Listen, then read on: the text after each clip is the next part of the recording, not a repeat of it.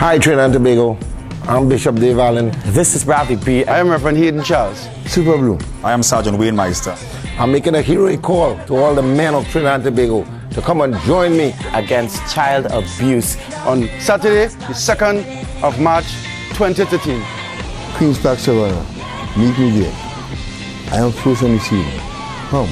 And support our men's march against child abuse.